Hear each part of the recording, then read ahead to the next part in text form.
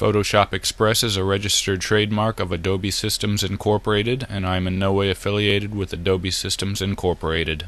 In this lesson, I'm going to teach you how to upload your photos with Photoshop Express. Uh, if you've just signed in, you're going to see a screen that looks like this, and you can either click Upload Photos here, or I'm going to click on the My Photos button.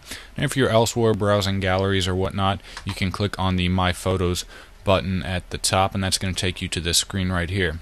If you want to upload a photo, all you have to do is click Upload Photos either here at the top left or right here in the middle of the screen. And it's going to open up your Finder, and you can browse and find whatever photos you want to upload. I'm going to click on this one and select that and it's going to take you to your upload photos queue.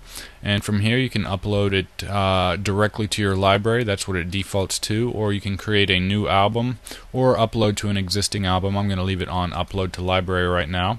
And you can upload more photos. Uh, you can upload more than one at a time. I'm going to click on upload more right here and come down and select another photo. So now I've got two photos in my uh, queue right there. So whenever you're ready to upload all your photos, you can click on the upload button right here and it's going to take a couple seconds to upload your photos and you can track the progress here.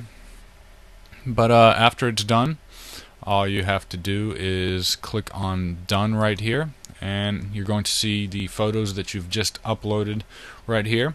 And uh, if you want to get rid of a photo that uh, you don't want in your gallery anymore all you have to do is select it and come down here at the bottom and click on remove photo.